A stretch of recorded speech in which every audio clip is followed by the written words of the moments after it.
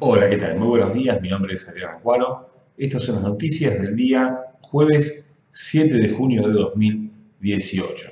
Se mantienen los movimientos dominantes en los últimos días con una baja del dólar ante las monedas europeas, en especial el euro y la libra esterlina. El euro ya superó 1.1830 en las primeras horas del día de hoy, se mantiene estable cerca de ese nivel y con una perspectiva alcista moderada para las próximas horas, habida cuenta de que hay ingresado zona de sobrecompra en las temporalidades menores. Lo mismo sucede con la libra que se encuentra por encima de 1.34, pero con una tendencia alcista algo más moderada y tal vez fuera de ese nivel de sobrecompra, la cual permite pensar en un crecimiento mayor de la divisa británica en las próximas horas. El yen, en tanto, sin cambios, 109.90 en estas horas y con una tendencia en el par dólar-yen que amerita pensar en un movimiento favorable al yen, a la moneda nipona,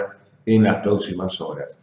No hay demasiadas novedades en cuanto a las noticias, es una semana con pocos datos importantes en el calendario, tal vez la noticia más importante que no aparece en los calendarios, pero sí en los titulares eh, financieros es el anticipo de que el Banco Central Europeo podría estar eh, pensando en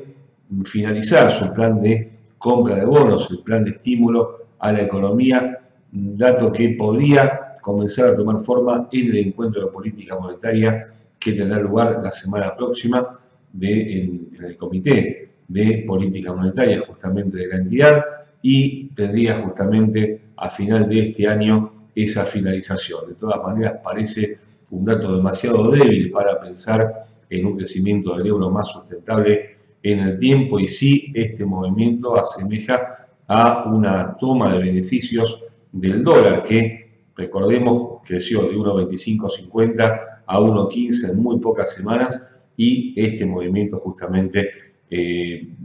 tiene esa forma de toma de beneficios para que la moneda única vuelva a caer en, las próximas, en los próximos días. Eh, no hay demasiados datos para hoy, tal vez el más importante, como siempre, todos los jueves las peticiones semanales de subsidio por desempleo de Estados Unidos, un dato que tiene poco impacto en los precios, pero que suele eh, ser seguido por los operadores y, bueno, los mercados, por supuesto, empiezan a palpitar los, eh, las reuniones de política monetaria tanto del Banco Central Europeo del jueves próximo como de la FED previsto para el martes y miércoles, a cuya finalización justamente se va a anunciar lo que todo el mundo espera, que es un alza de tipos de interés que es el segundo del año y que la expectativa no está tal vez puesta tanto en ese aumento, sino en ver si van a haber dos, uno o dos aumentos adicionales este mismo año. Nos espera entonces una sesión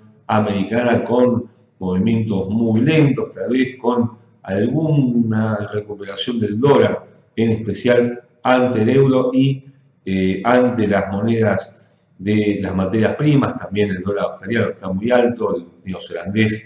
eh, ambas monedas han crecido fuerte en los últimos días y en todos los casos podría haber algún tipo de movimiento favorable al dólar y tal vez en sentido contrario, el yen también tiene para valorizarse en las próximas horas. Una excelente jornada de operaciones para todos. Nos vemos mañana viernes.